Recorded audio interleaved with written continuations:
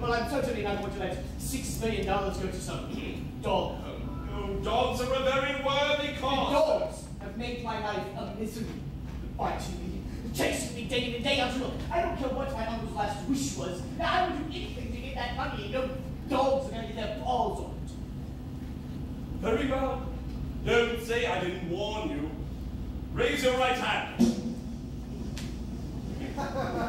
do you, Harry Charles Witherspoon, solemnly swear to fulfill all terms and conditions of Anthony Hendon's last will and testament in exchange for his estate of six million dollars. I do. No, Miss Thorsby!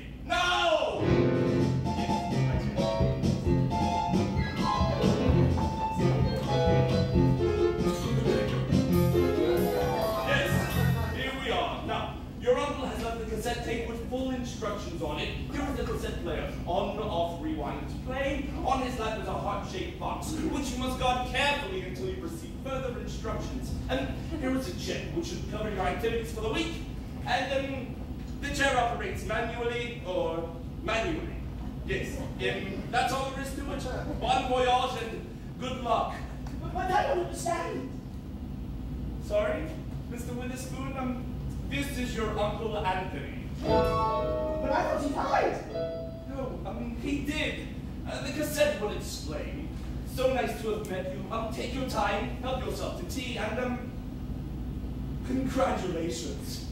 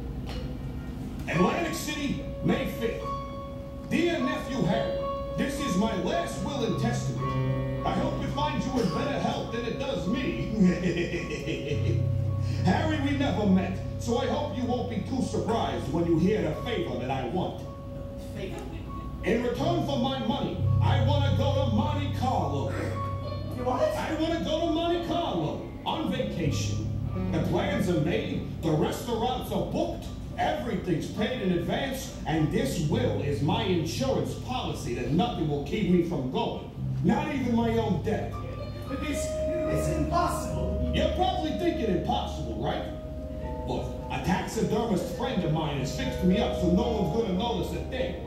All you gotta do is pass me off as your dear old invalid uncle and follow the instructions on the tape.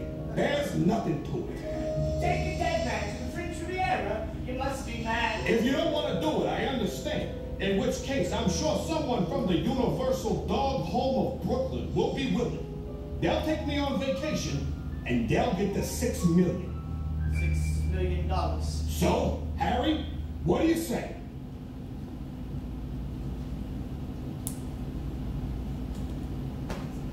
Going to Monte Carlo. With a corpse.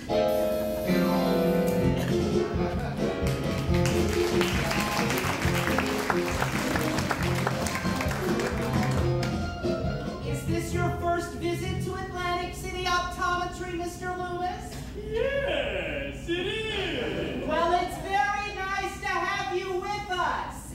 Now, uh, cover your left eye and read from the top of my tie.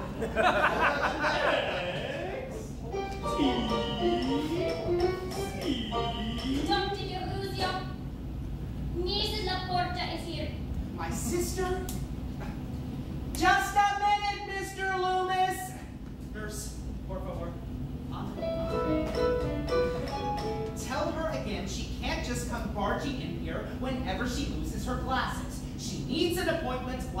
Everyone else.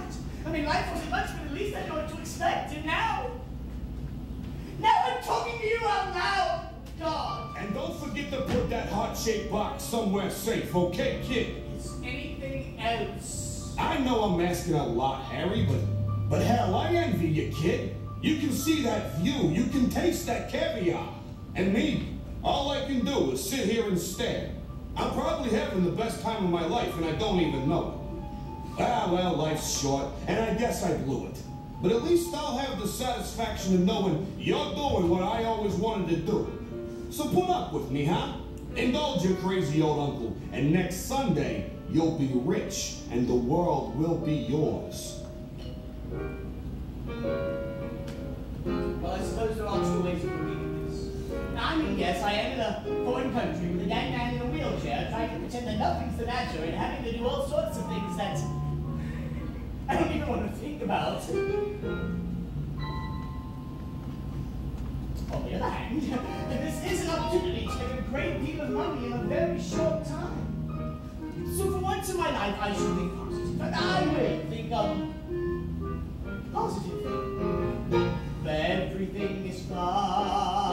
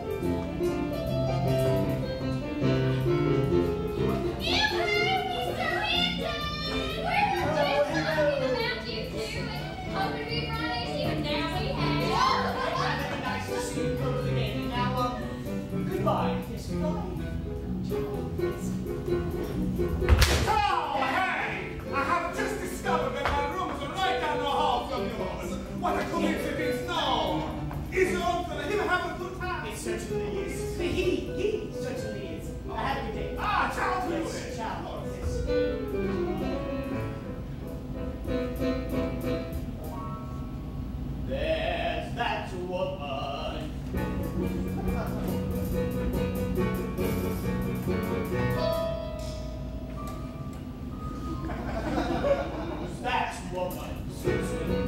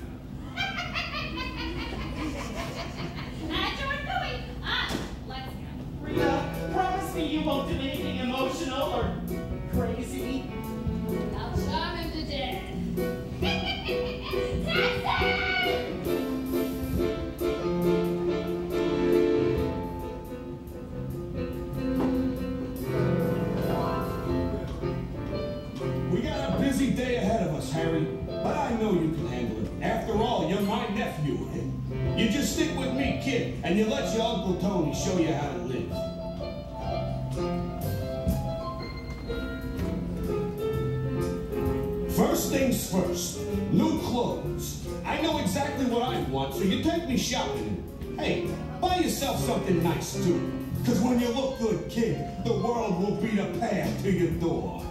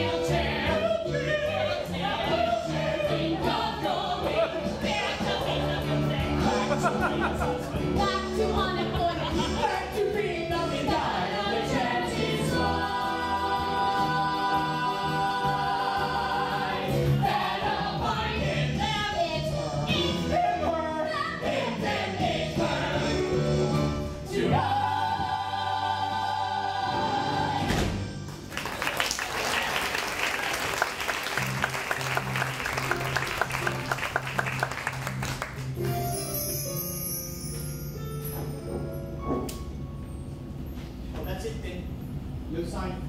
Or that insane man woman. you can't even call the police. or Uncle Anthony. You know he's probably upended in a ditch somewhere. Oh God, I hate a father like that.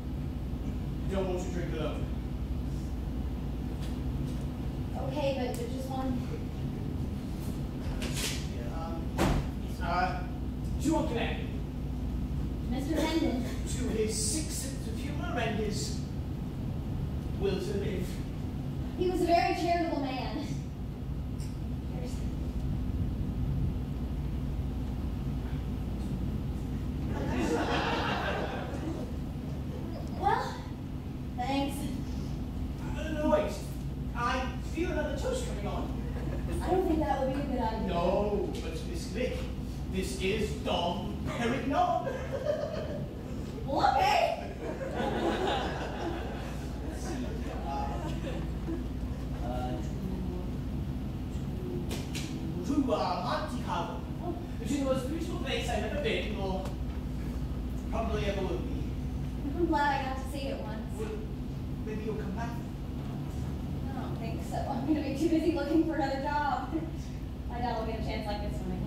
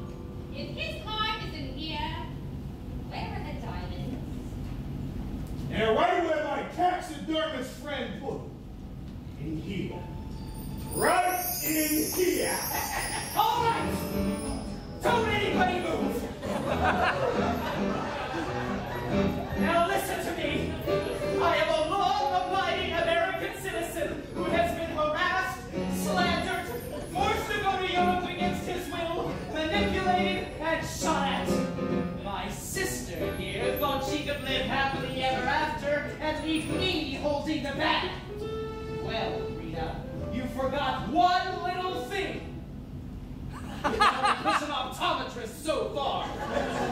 Now it's Vinnie's turn. Now I am taking this lovely little lady, and I am starting a new life where not you, not your husband's hood, not even Mary Alice and her mother will ever find me. so, s'il vous plaît. That's French.